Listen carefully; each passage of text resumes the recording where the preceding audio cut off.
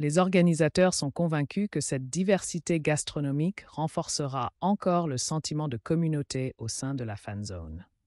La mairie prévoit d'ouvrir le pavillon non seulement pendant les matchs, mais également au-delà, afin de promouvoir l'enthousiasme pour le sport et les différentes cultures qui se rencontrent à Paris. Le pavillon des arts deviendra ainsi un point de rencontre culturel pour les passionnés de sport qui souhaitent continuer à interagir après les matchs.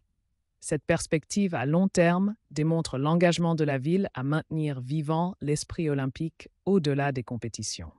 Les mesures de sécurité pour la fan zone seront également renforcées. Les responsables ont annoncé qu'une série de mesures complètes seront mises en place pour garantir la sécurité des visiteurs.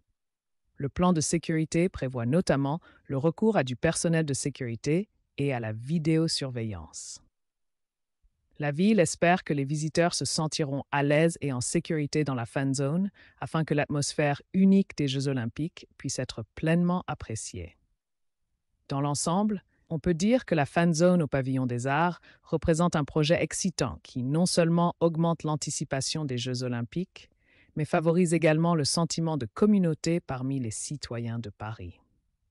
Le mélange de sport, de culture et de convivialité offre une occasion passionnante de plonger dans le monde des Jeux olympiques et de vivre ensemble des moments inoubliables.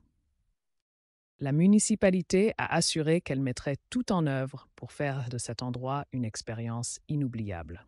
Pour les organisateurs, la fan zone n'est pas seulement une étape supplémentaire vers un événement olympique réussi, mais aussi un engagement envers les valeurs du sport qui peuvent rassembler des personnes du monde entier.